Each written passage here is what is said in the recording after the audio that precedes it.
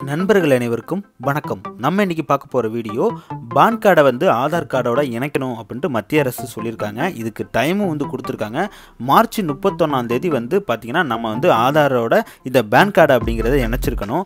இல்லை அப்படின்னா நமக்கு வந்து பத்தாயிரம் அபராதம் அண்ட் வந்து பார்த்திங்கன்னா நம்ம யூஸ் பண்ணுற பேன் கார்டை வந்து டெர்மினேட்டும் பண்ண போகிறாங்களாம் இதெல்லாம் நமக்கு எதுக்குங்க? உங்ககிட்ட ஒரே ஒரு ஸ்மார்ட் ஃபோன் இருந்தால் போதும். நீங்களே பேன் கார்டை ஆதார் கார்டோட இணைச்சிக்கலாம். இது எப்படி அப்படிங்கிறது தான் இந்த வீடியோவில் நம்ம பார்க்க போகிறோம் வாங்க வீடியோக்குள்ளே போகலாம்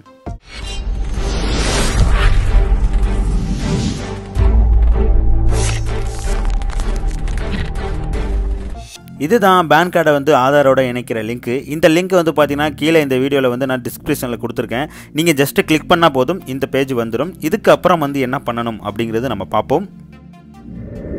இப்படி தான் இருக்கும் பேஜ் ஓப்பன் பண்ணிங்கன்னா இப்படி தான் இருக்கும். இதில் ஃபஸ்ட்டாக வந்து பார்த்தீங்கன்னா அந்த பேன் கார்டோட நம்பரை வந்து ஃபஸ்ட்டு டைப் பண்ணிடுங்க உங்களுக்கு பார்த்தீங்கன்னா அந்த பேன் போட்டிருக்கல அதுக்கு நேராக உள்ள அந்த பாக்ஸில் வந்து பேன் கார்டோட நம்பரையும் அடுத்தது ஆதார் கார்டோட நம்பரை பார்த்தீங்கன்னா அடுத்த பாக்ஸில் வந்து ஃபில் பண்ணிடுங்க மூணாவதாக வந்து பார்த்தீங்கன்னா உங்கள் ஆதார் கார்டில் உள்ள நேம் என்ன அப்படிங்கிறது கரெக்டாக அதில் என்ன இருக்கோ அப்படியே இதை வந்து டைப் பண்ணிடுங்க அப்புறம் வந்து பார்த்தீங்கன்னா I have only year of birth in Aadhaar card அப்படின்ட்டு இருக்கு அது வந்து பார்த்தீங்கன்னா எதுக்கு அப்படின்னா உங்களுடைய ஆதாரில் வந்து பார்த்தீங்கன்னா டேட் ஆஃப் பர்த்தில் இயர் மட்டும் இருக்கும். இந்த டேட்டு மந்த்தும் வந்து பார்த்தீங்கன்னா எக்ஸ் எக்ஸ் கொடுத்துருப்பாங்க. அந்த மாதிரி ஆதார் கார்டு நீங்கள் யூஸ் பண்ணிட்டீங்கன்னா அந்த பாக்ஸை வந்து கிளிக் பண்ணிடுங்க.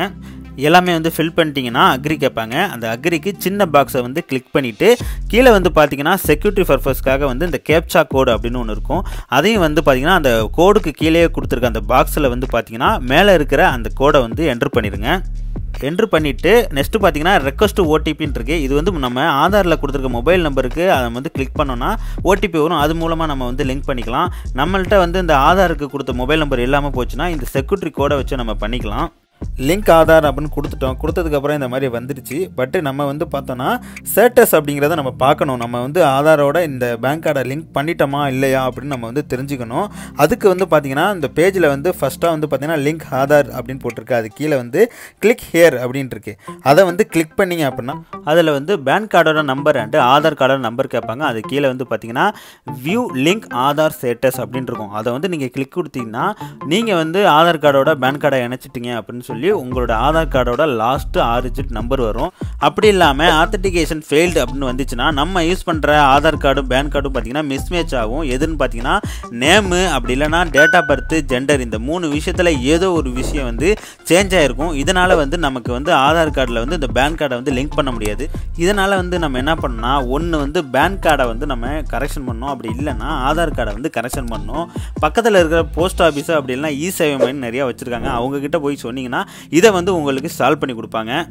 ஓகே நண்பா பேன் கார்டை எப்படி ஆதாரோட இணைக்கணும் அப்படிங்கிற விஷயத்த கண்டிப்பாக தெரிஞ்சிருப்பீங்க. இந்த விஷயம் உங்களுக்கு ரொம்பவே யூஸ்ஃபுல்லாக இருந்துச்சுன்னா லைக்கை போடுங்க. உங்கள் ஃப்ரெண்ட்ஸுக்கும் ஷேர் பண்ணுங்கள் உங்கள் ஃப்ரெண்ட்ஸும் தெரிஞ்சுக்கிட்டோம். எப்படி வந்து பேனை வந்து இணைக்கிறது அப்படின்ட்டு. ஏன்னா மார்ச் முப்பத்தொன்று தான் கடைசி தேதி.